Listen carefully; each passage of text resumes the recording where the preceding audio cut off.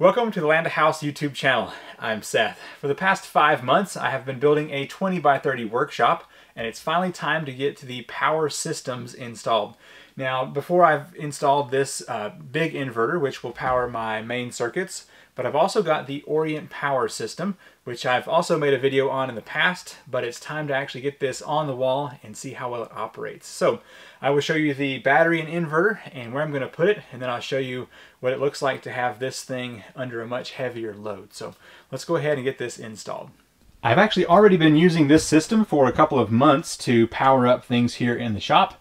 I've got uh, a uh, thousand watts of solar that I've been plugging directly up to the MC4 connectors as you see down here. Uh, quite a lot of dust on this thing too. Uh, so this is a 5 kilowatt hour lithium iron phosphate battery from Orient Power and this is their 6000 watt single phase 120 volt inverter. So uh, I've been using this to power up my studio lights and run saws and all kinds of stuff here. Um, but what I want to do is go ahead and mount these two on this wall over here. I'll have the inverter up top and the battery down below and that will hopefully get them up and out of the way so I can use this closet for other things. Now in the future I will show you some of the uh, breakers and switches and other things that I'll have in here but for now we're just going to be installing the inverter and the battery so that I can get this up off of this box and uh, looking a bit more professional. I'm going to start off with a single screw to put up here for mounting this. I'm going to go up pretty high. Don't have to go all the way in just yet. And I'm going to take the inverter and get it uh, placed onto that screw.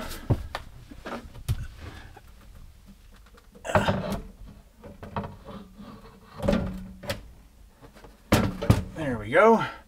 And I can go to the other side over there and get the other one with a level. Just gonna set a level up here on top of this inverter so I can figure out where I need to put the next screw.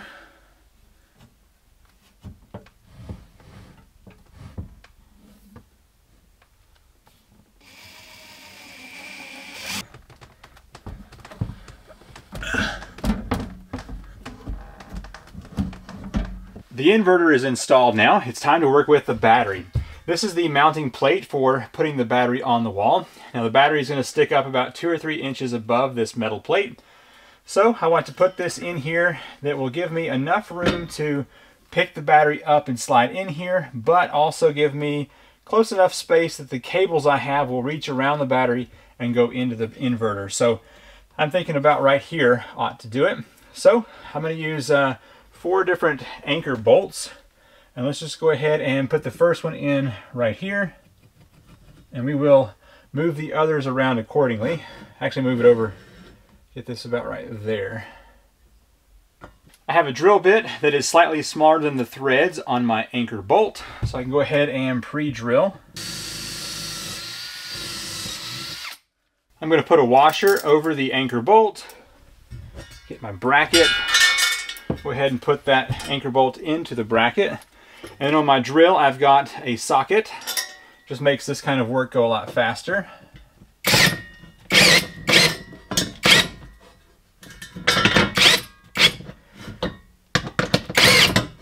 You get that close, but not all the way tightened down because I need to use a level here. Make a mark on this one. While it's here, I might as well go ahead and mark the others.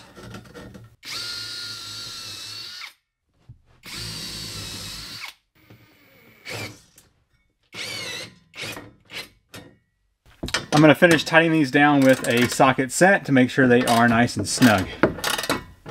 The weight of this battery is right at 100 pounds, so hopefully I'm able to get this up here on the wall without too much trouble. Uh, but it's definitely Probably worth doing this with two people. Luckily, it does have handles on the side to uh, aid in the pickup. Uh, so let's see what I can do about sliding the battery onto this bracket.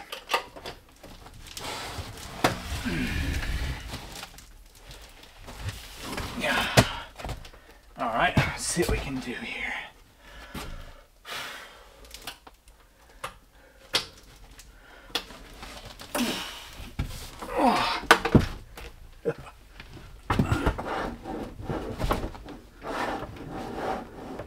Oh, there we go. Just a little off to the side. Whew, heavy. I now have the inverter mounted up here and directly underneath is the battery. Now, one happy accident that's happened is that the control board has wires connected to it and so they have to be uh, supported.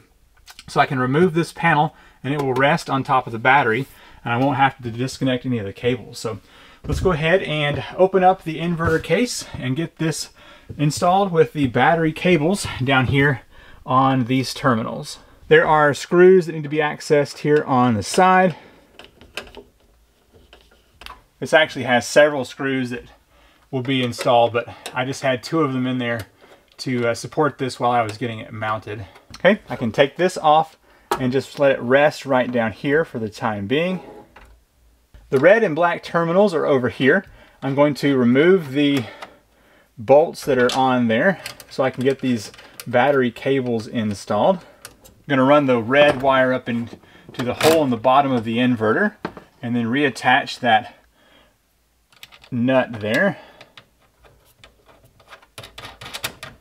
Likewise, the black cable needs to go up into the hole and attach to the black terminal up under here. Get that nut screwed on there as well. Now for demonstration purposes, I'm going to use some 12 gauge wire to power up my breaker box, but it will be properly wired uh, in the future with some uh, bigger gauged wire. So we'll go ahead and get the neutral, ground, and hot wires in here and then get this screwed into place.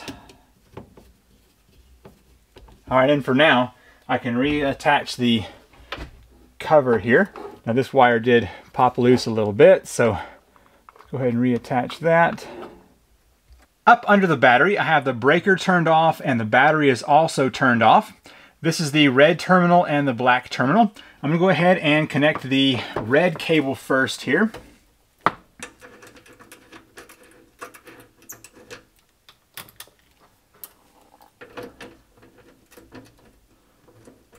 Now it's important to make sure you don't have any washers between the terminal and the battery cable, but it's totally fine to have the uh, washers on this side of the, uh, the terminal. Go ahead and unscrew the black side over here. Now the battery is turned off, but just to make sure I don't have any issues with an arc, I've got a resistor here. It's a 10 watt and 100 ohm. I'm just going to touch right here and touch this. Basically, if there were any charge to occur, it would be very slow and not sudden. But with the battery turned off, we should not see that anyhow. All right, go ahead and get this up in here. And once again, just making sure that's slowly charged. Yep, no worries. With those cables in place, I'm to go ahead and turn on the battery. Battery is on. I can flip on the breaker. That has now sent power from the battery up here to the inverter. I can go ahead and push the power button.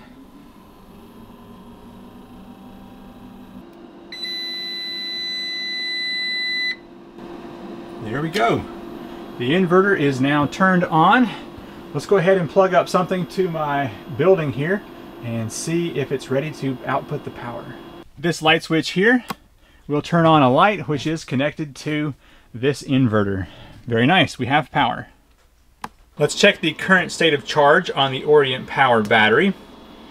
Go into the analog info, 53.14 volts. We can go down here and go to cell capacity. We are at 72.19%. Very cool. In order to keep this battery charged up, I do have a thousand watts of solar outside that I'm going to connect. So let's go ahead and plug these up so we can see the uh, power going into this system.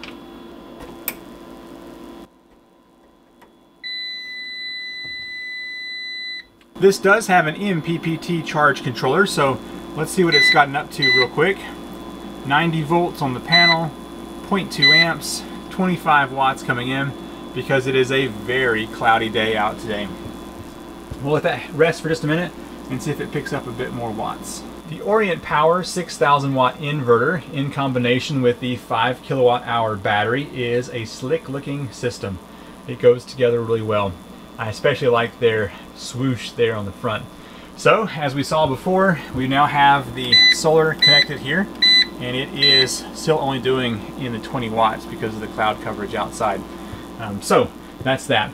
But uh, as far as the system goes, it is just a 120 and I'll have to have uh, a lot bigger cable than just this uh, 12 gauge here in order to run 6,000 watts. But to be honest with you, if you do the math on this inverter with the battery, uh, that's not going to be achieved anyhow because of the amperage limitations there. Uh, so uh, I'll probably be using an 8 gauge to go from here to my breaker box and that will be sufficient to carry the amps that I'll be using. And like I said a moment ago, these two solar wires will be going through a breaker and I'll have that mounted over here. So the solar wire will go into that breaker and then continue out of that so I can easily shut the solar off instead of having to unplug up under there. Alright, so the inverter menu itself has a bunch of settings and pretty much all I've been using is just scrolling through uh, to see what is coming in from solar. Um, but, so you can see here, the MPPT charge controller is active and it is going DC to AC.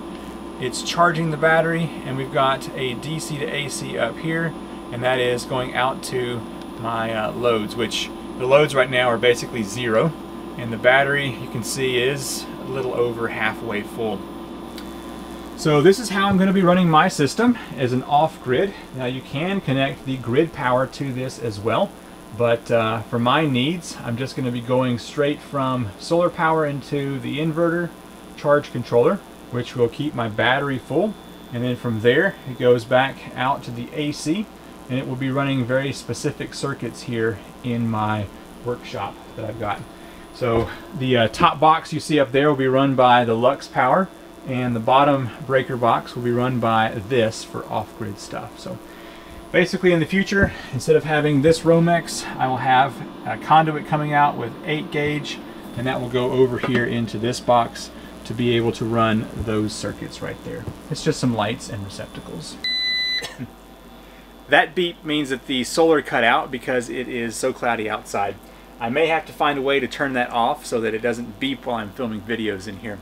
This has been just a very basic install of the inverter and battery system from Orient Power. I have been using this now in my workshop for almost two months and it has run all kinds of things in here from charging power stations to running shop lights, saws, and all kinds of stuff. So I've been very pleased with the way this has been operating. I'm uh, going to be using this now for another probably month until I get my battery system for this other inverter installed. And so uh, definitely will put it through more good use. So definitely stay tuned for seeing more stuff go into this little uh, utility closet. I'm going to have uh, breakers and switches, more batteries coming in, and we'll also play with this uh, big inverter as well. But for now, if you want to check out more information on the Orient Power Systems, I will have a link in the description down below. It is a commissions code, so if you use that one, I will get a small cut off of that. Thank you so much for watching. I'm Seth with Land to House, and I will see you in the next video. Bye.